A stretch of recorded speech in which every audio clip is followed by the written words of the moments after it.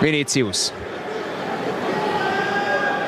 Ügyes trükk, Funsó lóg meg az embertől. Többen érkeznek a túloldalon, micsoda labda, Funsó, gól! Nikolic!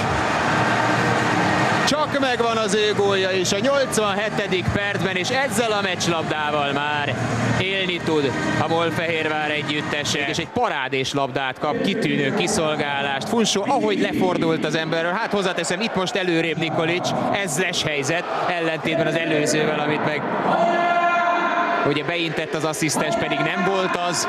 Tehát ez a kiszolgálás, ez tényleg káprázatos. Ahogy lefordul a védőről, ahogy kötényben adja a gólpaszt, és tökéletesen pontos a labda.